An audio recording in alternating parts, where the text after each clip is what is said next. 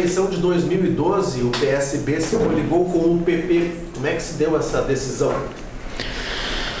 Bom, uh, essa coligação, a, a, a, gente recebeu até muitas críticas, né? mas ela, para mim, ela foi muito tranquila porque eu, uh, uh, eu digo sempre que as instituições têm que ser fortalecidas, mas infelizmente elas são frágeis.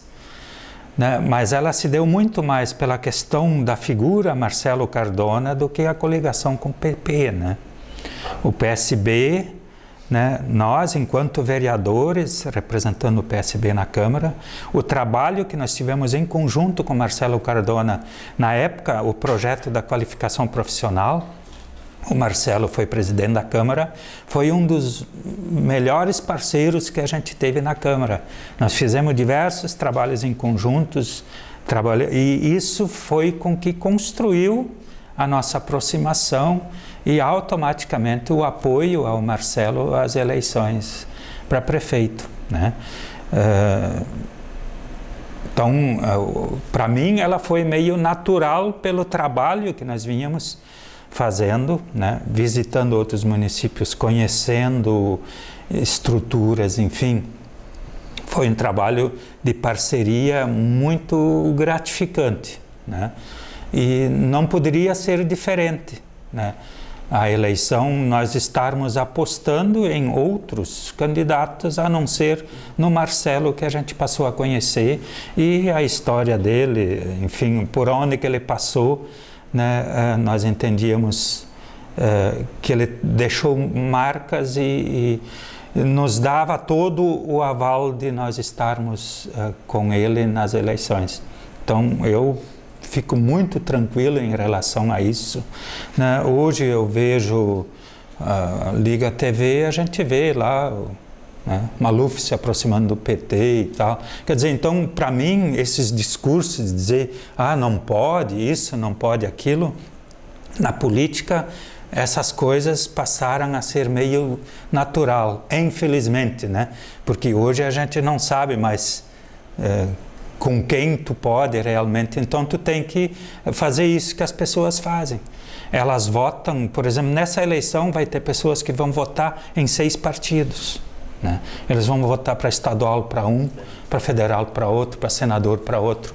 Porque, na realidade, na estrutura central lá, existe lá um conjunto de coisas. O governo é composto praticamente por todos os partidos. Né? E aí passa muitas vezes, eu acho que um pouco assim, uh, os partidos que se elegeram não governam mais não implantam os projetos que eles tinham, porque eles têm uma misturama lá e aí não conseguem mais resolver essas questões. Por conta da governabilidade, que eu tenho minhas dúvidas, né? porque os deputados, igual, eles votam na hora lá o que eles entendem, e não pelo que a cúpula define.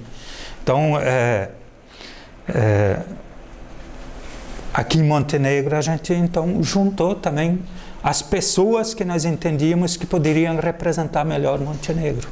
Então foi essa coligação. Infelizmente, né, uh, talvez hoje muita gente diga, pô, que pena que isso não foi, né, mas eu também digo isso, né, porque realmente nós podíamos esperar de tudo, agora não isso que está acontecendo em Montenegro, né, porque Uh, talvez muitas pessoas digam, ah, ele está dizendo isso porque ele foi adversário. Não.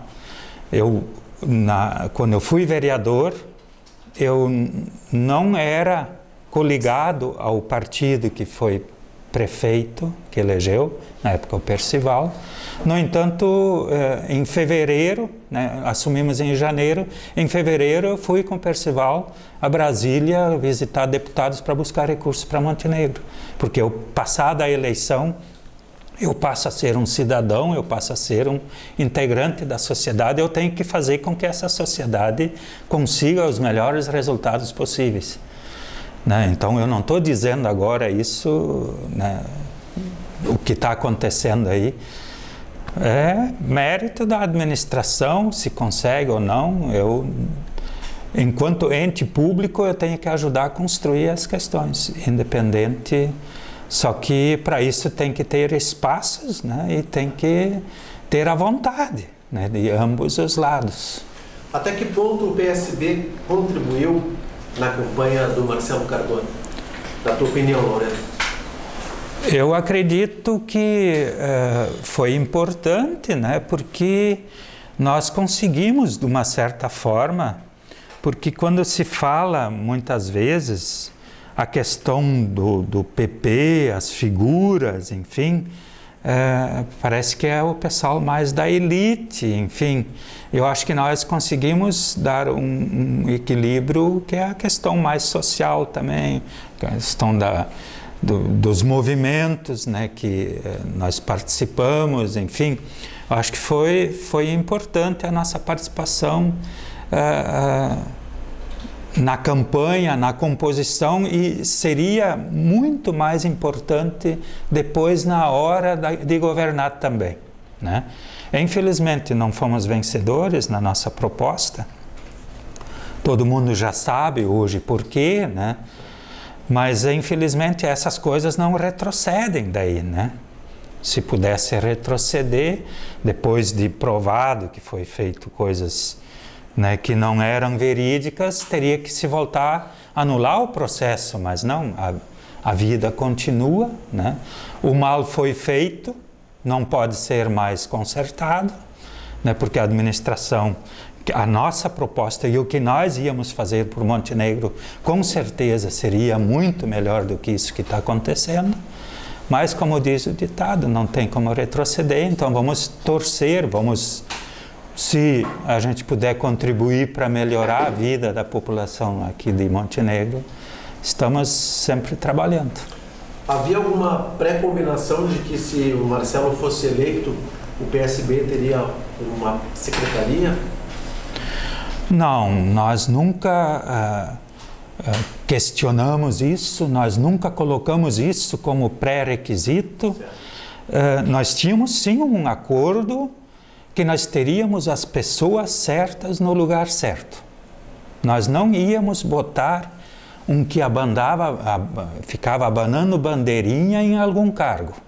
Nós íamos botar as pessoas que pudessem contribuir para que a administração desse certo. Para que a gente depois não precisasse dar explicações para a sociedade. É isso que nós entendemos na política. Era esse o acordo que nós tínhamos que nós íamos compor o governo, assim como nós fizemos toda a campanha em conjunto com os partidos, nós estaríamos discutindo depois também os cargos, enfim.